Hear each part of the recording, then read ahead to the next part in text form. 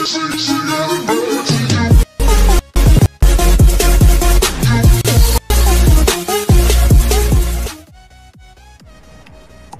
guys, Uh, kembali lagi bersama saya Jess No Limit ya. Thank you guys semua yang udah dukung channel saya sampai hari ini. Ya, jadi sesuai janji saya guys, setelah saya ada 10.000 subscriber pertama pertama saya, saya akan memberikan tutorial gimana sih caranya pakai Funny gitu guys. Ya kalau misalnya kalian ya belum tahu uh, saya siapa, saya salah satu anggota Saints.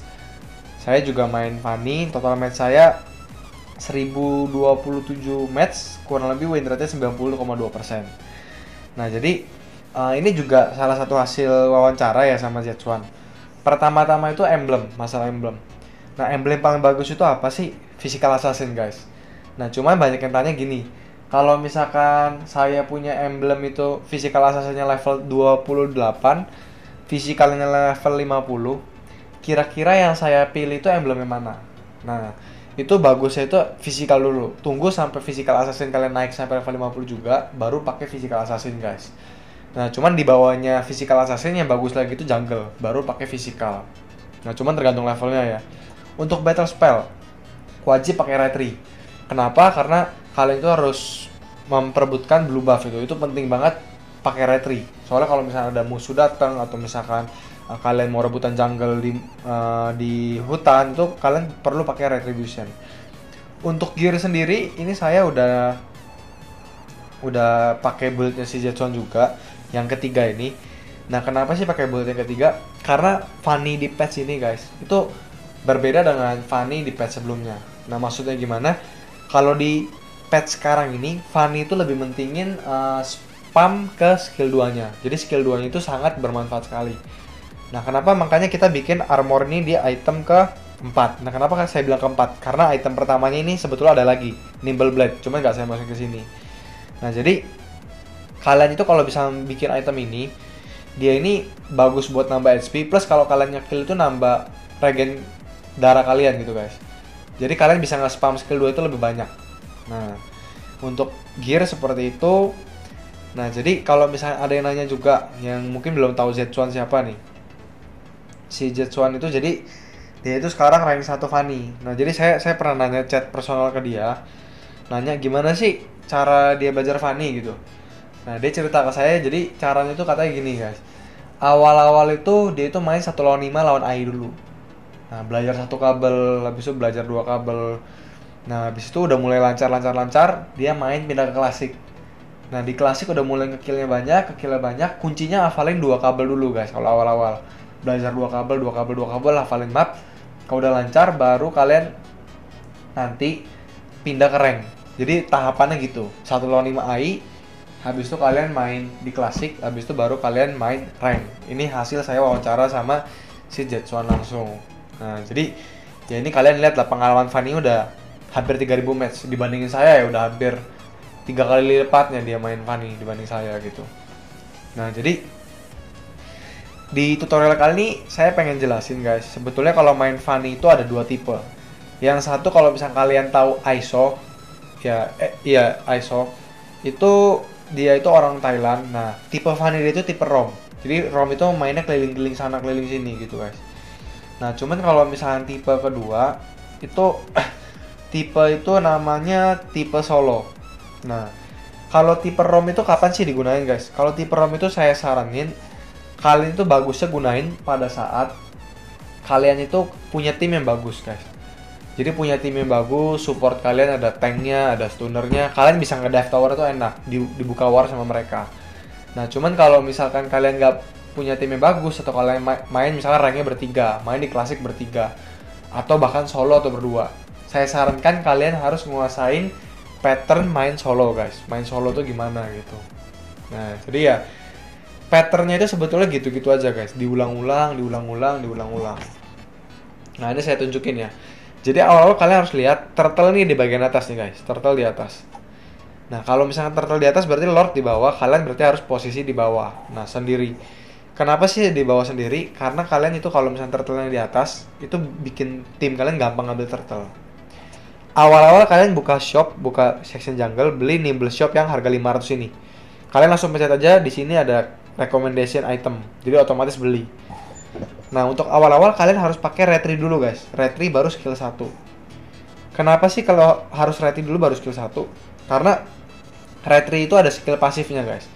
Skill pasif itu kalau misalnya kita pas lagi pakai retri, selama beberapa detik itu energi yang dikeluarin eh damage yang dikenain ke musuh yang itu itu lebih gede dibandingkan kalau kita nggak pakai retrinya belakangan ya sayang. Makanya saya pakai retri dulu baru skill 1 nah patternnya main solo tuh gimana sih? Main solo itu kalian pokoknya intinya farming creep guys. Clear clear creepnya yang cepat nih. Sambil cicil-cicil musuh. Ya cicil-cicil musuh caranya gitu-gitu aja. Nah kalian kalau udah kayak gini kalian harus siap-siap turtle. Line kedua retri sekali inget retri sekali guys. Habis itu ini ada ada tips ya. Kalian beli nimble blade yang ini pencet retrinya langsung ke refresh. Lihat tuh retri ke refresh bisa kita pencet lagi langsung. Nah habis dari situ biasa saya ke jungle yang ini. Nah kalau misalnya jungle yang itu dihabis diambil musuhnya saya ke jungle yang ini biasa yang bawah situ.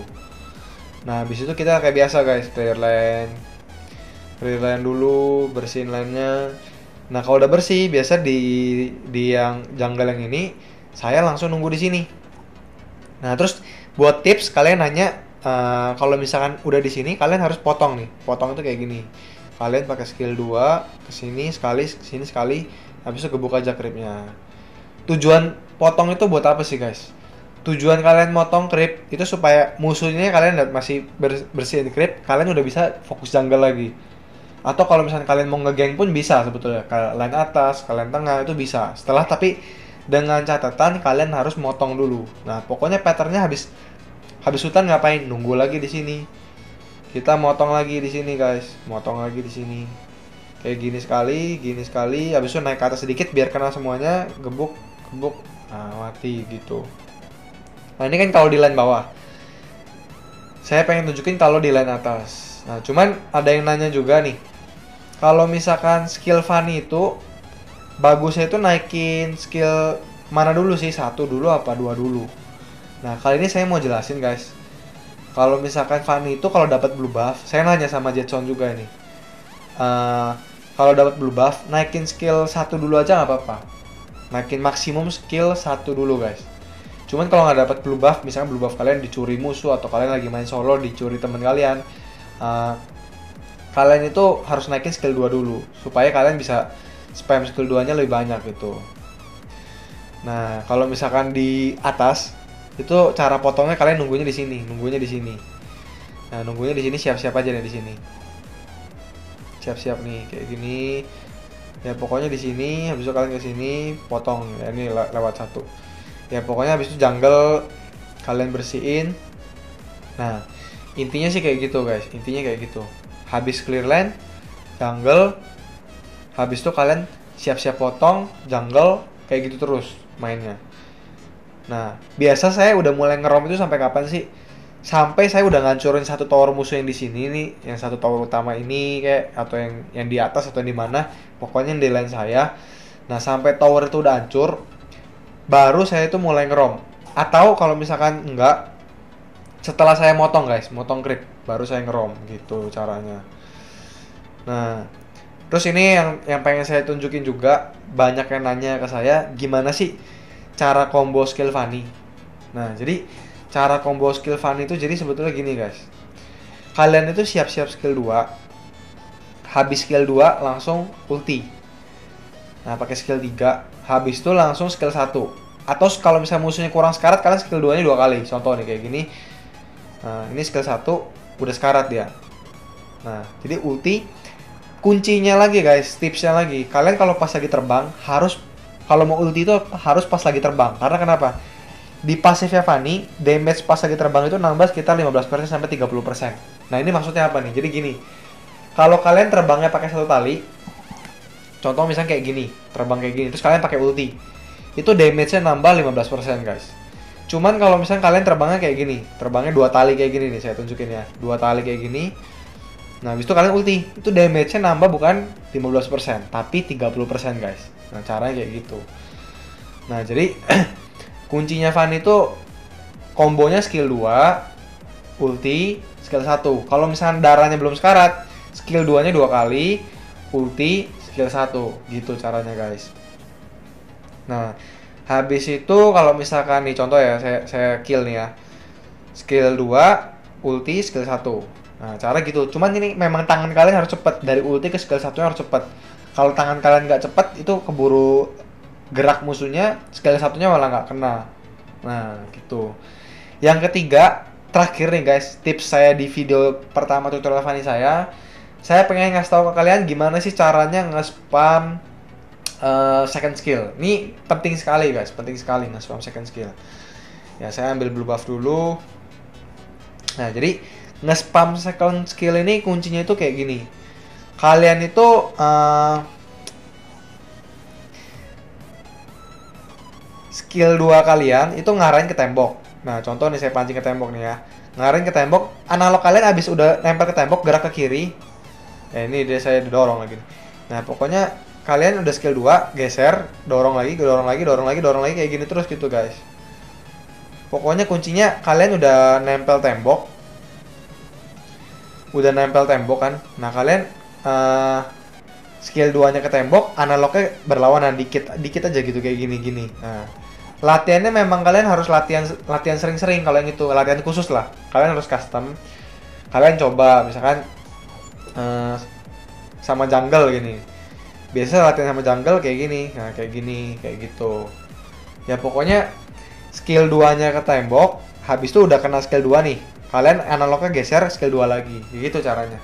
Spam kalian terus-terusan aja kayak gitu ke tembok nah cuman memang ini skillnya kalian nggak bisa langsung instan kalian harus butuh ya beberapa kali match lah baru bisa lancar ya mungkin itu dari saya guys sekian ya dari saya dulu kalau misalnya kalian ada yang bingung atau apa uh, mungkin bisa tulis di komen jangan lupa subscribe uh, like plus share video ini guys Nanti kalau misalnya memang ada update lagi atau misalnya ada yang bingung, nanti saya bikin di tutorial Funny kedua guys. Oke, okay?